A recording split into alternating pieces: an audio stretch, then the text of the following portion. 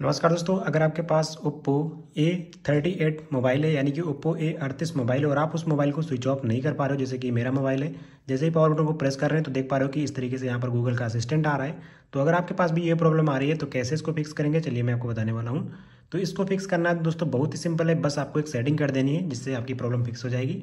तो आपको सेटिंग में जाना है, उसके बाद यहाँ पर जो सर्च बार दिख रहा है सर्च बार पर क्लिक करना है, और यहाँ से आपको लिख देना है press P R E double S जैसे आप लिखोगे P R E double S तो आपको सर्च कर देना है। जैसे आप इसको सर्च करेंगे तो देखिए, दूसरे नंबर पर एक सेटिंग मिल रही है, जो press and hold the power button इस पर क्लिक करना है। इस पर क्लिक करने के बाद ऊपर जो पावर मेनू का ऑप्शन दिया गया इसको सेलेक्ट कर देना है।